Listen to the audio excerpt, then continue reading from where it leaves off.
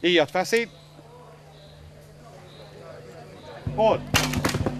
Talpasi jászok fogadták a kunhagyományok napjára érkezőket. A most tíz éves jubileumát ünneplő rendezvény egyik főszervezője a regnáló nagykunkapitány. 2004-ben érkezett a felkérés a Karcagváros önkormányzatától, hogy szervezzük meg a kunhagyományok napját, és így csapatunk ezt a kérést teljesítette, és azóta is töretlenül él a rendezvény, és idén már tizedik alkalommal került megrendezésre. A település polgármestere szerint a kunemberek büszkén ápolják hagyományaikat. Hát a titka pontosan az, hogy egyáltalán hagyományőrzőek a kunok. Mindenféle szempontból öltözködést, ételeiket, építkezésüket, mentalitásukat tekintve, és még lehetne sorolni természetesen.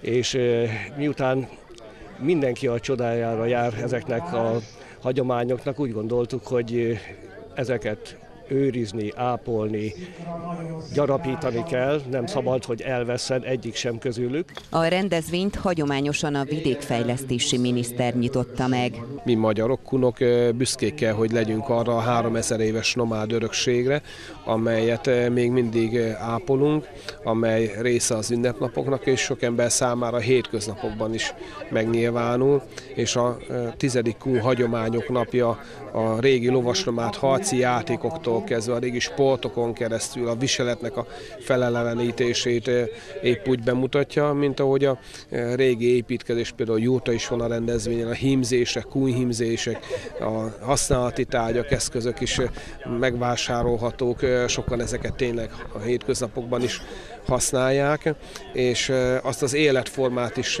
kiteljesítik, amely a mi népünknek a sajátja volt egykoron. A hagyományápolás a gasztronómiában is megnyilvánul, hiszen a rendezvényre kilátogatók a hungarikum birkapörköltet, a tájegységre jellemző Ferdinándot és kölesből készült finomságokat is kóstolhattak.